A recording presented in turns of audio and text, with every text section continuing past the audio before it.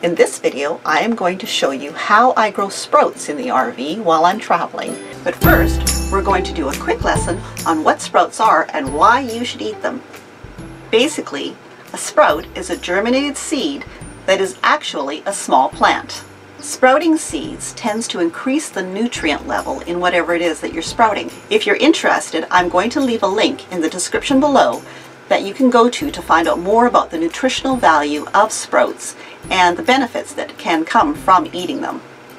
The website below will explain while there are many, many benefits to eating sprouts, there is also a caution because they have been linked to outbreaks of food poisoning if they're incorrectly handled. So you do need to take care of your sprouts, but the benefits far outweigh any risk that's involved. Most people have probably eaten sprouts, probably alfalfa sprouts. They're fairly common. You can find them in most grocery stores in the produce section and they come in little plastic boxes. But there are so many more varieties of seeds that can be sprouted. They're very easy to grow and an ideal mini garden for your RV. You can sprout peas and beans like lentils and kidney beans and garbanzo beans and soybeans, the list goes on. You can also sprout vegetable seeds like broccoli, radish, mustard greens, even clover. Then there's the grains. Did you know you can sprout brown rice as well as quinoa and buckwheat? And then we have the nuts and seeds like almonds and sesame seeds, sunflower seeds, pumpkin seeds. Usually sprouts are eaten raw, but you can lightly cook them.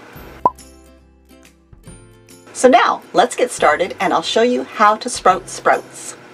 When I first started growing sprouts many years ago, what I had was a wire mesh disc that fit on the top of a canning jar, and you used the, the metal ring to hold the wire mesh to the top of the jar.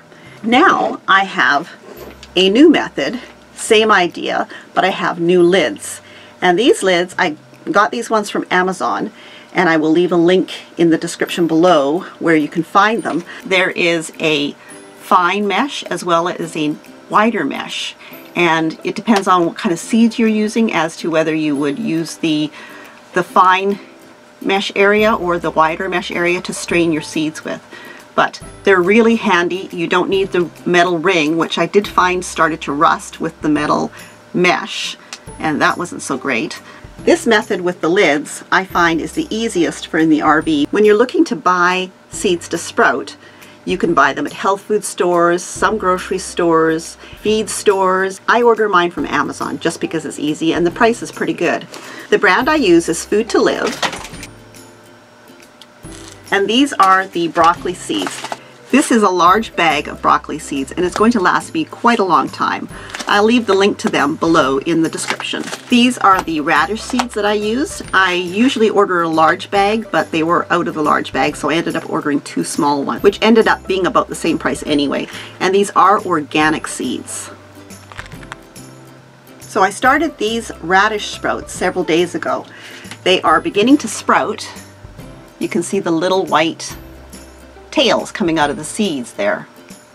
Now every morning I grab my jar of seeds and I run water through this mesh lid.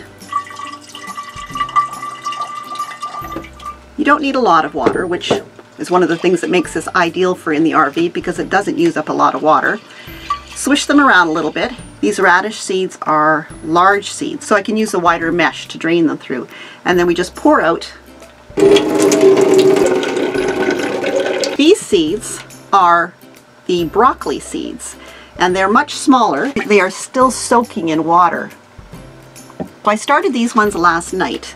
When you first start seeds, you let them soak for about 12 to 24 hours. Generally, I go 24 hours because I go from when I started them to the next day about the same time.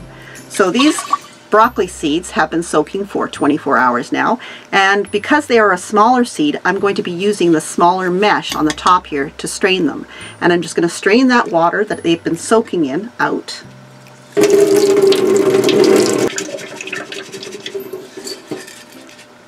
So now you can see they're all strained and now I'm going to add fresh water.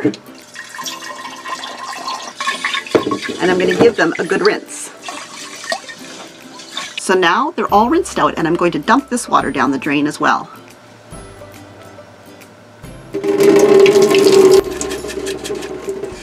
These are actually quart jars. Normally while I'm traveling I use pint jars, but I'm actually growing these sprouts for more than just myself. The same lid will fit on any wide mouth canning jar, any mason jar, which they're really easy to find. You can generally find a canning jar in a secondhand store for about 50 cents. So now we have our broccoli and our radish sprouts on the go and we're going to come back and check them again tomorrow.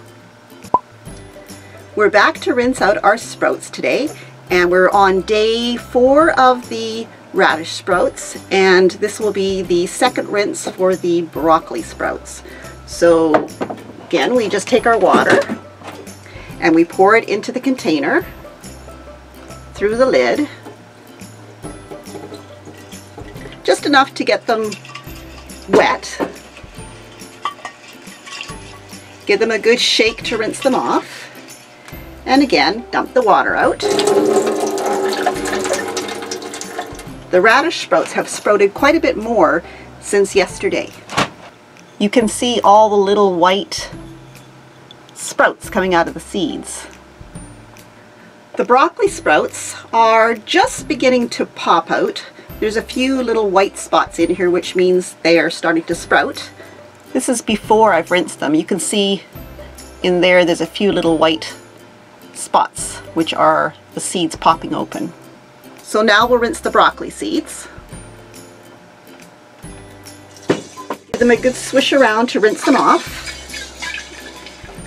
And dump out using the fine mesh because they're a small seed. So these are now ready to sit and we'll come back and rinse them again.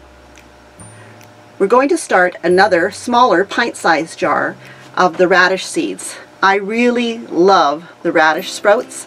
They have a really nice bite to them for salads and on sandwiches. So when I'm finished the big jar, I've got some more on the go. We're going to put two tablespoons of the radish seeds, which are the bigger seeds, into the pint jar. And that will fill the jar with sprouts when they're done.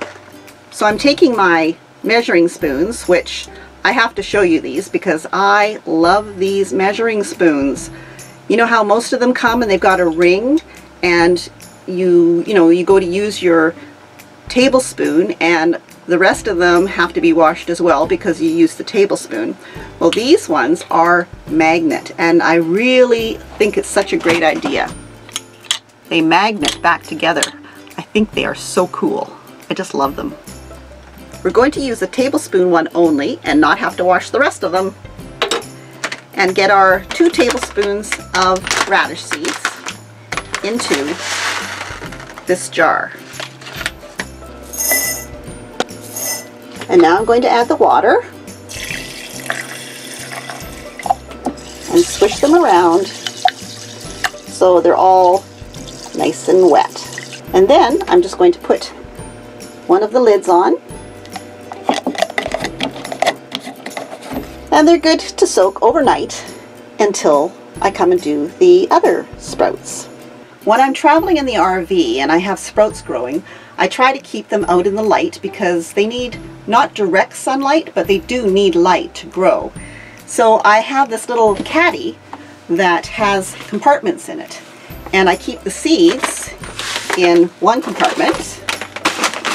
And I can put the jars into this separated compartment where they don't bang against each other. The pint jars work really well in here. Here's the jar of radish seeds that I've just started soaking and it fits in there. And I have another pint jar that I will probably start in a day or two that fits into the other one. You can see how nicely everything fits in there. Now this caddy I didn't get on Amazon.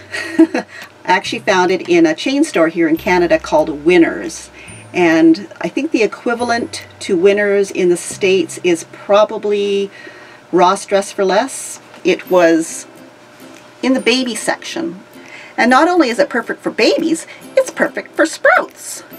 I'll just take the little carry-all of sprouts and seeds and I just set it in the sink when I'm traveling so it stays nice and secure. I'm going to leave a link down below to ones that I did find on Amazon in case you're interested. Here I am, back to rinse the sprouts again. I'm just going to grab them out of the sink, grab the water, and we'll rinse. So this is now day five for the radish sprouts and they are really taking off right now. So I'll show you those before I rinse them. There's all the little white sprouts coming out of the seeds there. And here's our broccoli seeds looking kind of cool clinging to the side of the jar. I'll show you that before I rinse them. See all the little white sprouty tails coming out. And there's the bottom. And then we have the radish seeds that I began to soak last night. And we're going to dump this water out and give them a good rinse with some fresh water.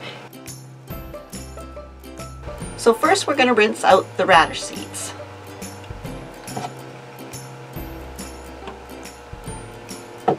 So you can see how much water I've put in there. It's not a lot, it's just enough to cover the sprouts. And I'm going to swish them around and then I'm going to go to the sink and pour them out. Give them a shake just to loosen up the sprouts. So you could start eating these now, but I'm going to give them a few more days because after a few more days they will actually fill the jar. I may not get to that point in this video, but you get the idea.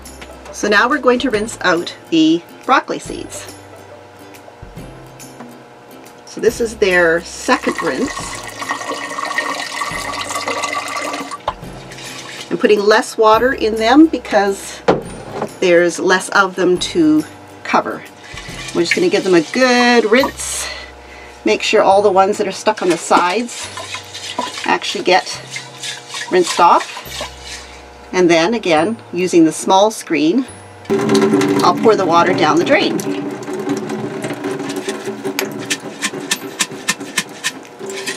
They don't need to be sitting in water, they just need to be wet.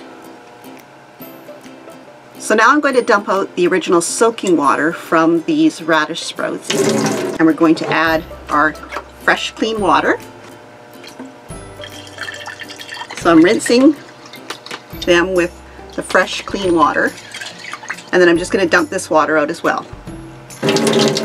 You just rinse them every day until they're the size that you want to eat them at. Then I just put them all back into their case. I've taken the seeds out of here because I've got the three jars.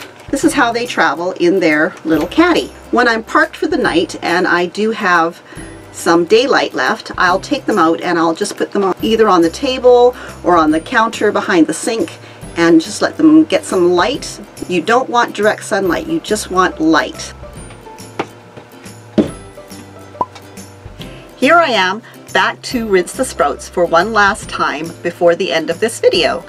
I'm going to be leaving the broccoli sprouts in the jar to sprout for a few more days. So let's go over to the sink and we'll give these sprouts one last rinse before the end of the video.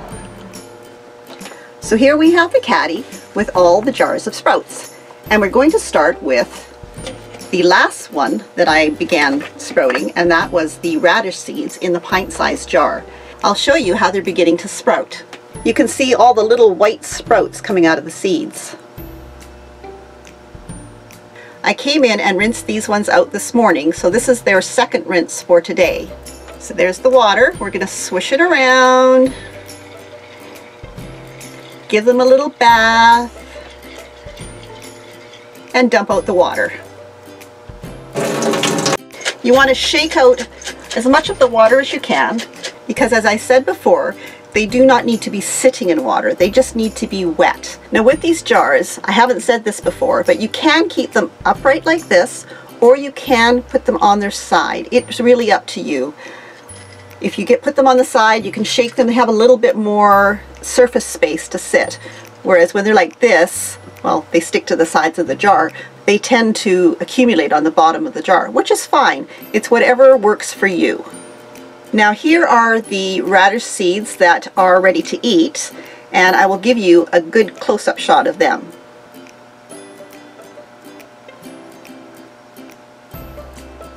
I like radishes and these ones taste like radish. They're just little sprouts, but they already taste like radish and they just give the salad or a sandwich a really nice bite. I just love that. So I'm going to rinse them out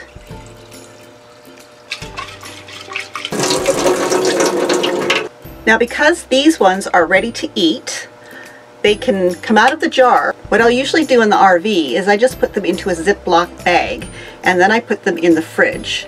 And I will try to eat them within two to three days. So I've rinsed out the broccoli seeds and you'll be able to see quite a difference in how much they have grown overnight.